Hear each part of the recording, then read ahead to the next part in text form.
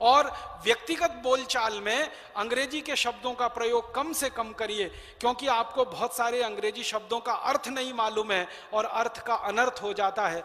हर शब्द का अपना एक इतिहास होता है। ऐसे ही अंग्रेज़ी शब्दों का अपना एक इतिहास है।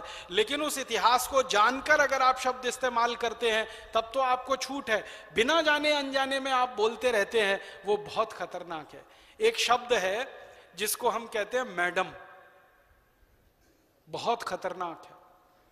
अगर इसको आप जान लेंगे तो आज के बाद किसी को मैडम कहने की हिम्मत नहीं कर पाएँगे आप। हम किसी को भी राह चलती बहन को, माँ को, बेटी को मैडम कह देते हैं, और हमारे देश का भला हो, बहनों का, वो भी मैडम कहलवाने में गौरव महसूस करती है। हमको मैडम कहो मैडम का अर्थ जान लीजिए M A D M E ये शब्द है मैडम। मूलतः ये फ्रेंच का शब्द है। फ्रेंच में एक शब्द होता है, उसका नाम है मादाम। एम ए माने माँ और दाम। डी एम ई दाम। माँ माने मेरा, दाम माने महिला।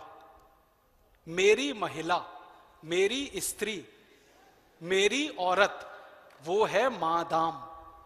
फिर वो अंग्रेज़ी में चला गया। क्योंकि अंग्रेज़ी वालों ने सारी दुनिया से उधार लिए हुए शब्द सबसे ज़्यादा है। अंग्रेज़ी के मूल शब्द सबसे कम है, दुनिया भर की भाषाओं से उधार लेकर खिचड़ी बना रखी है उन्होंने। तो ये मादाम शब्द फ्रेंच से ले लिया, अंग्रेज़ी में आ गया, जिसका मूल अर्थ है, मेरी स्त्री, मेरी महिला, मेरी औरत, उसको आप कह सकते हैं मैडम। अब सारी महिलाएँ आपकी हैं। सारी स्त्रियाँ आपकी हैं। सारी औरतें आपकी हैं। हैं तो बहन के रूप में हैं तो माँ के रूप में पत्नी के रूप में नहीं हो सकती सारी स्त्रियाँ सारी महिलाएँ। तो गलती से भी कल से किसी को मैडम मत कहिए। माँ बोलिए बहन बोलिए। माँ कहिए बहन कहिए बेटी कहिए बेटी कहिए अगर छोटी है बराबर की है तो आप बहन कहिए जो कहना है कहिए। भारतीय शब्दों में रिश्ते बिल्कुल स्पष्ट हैं।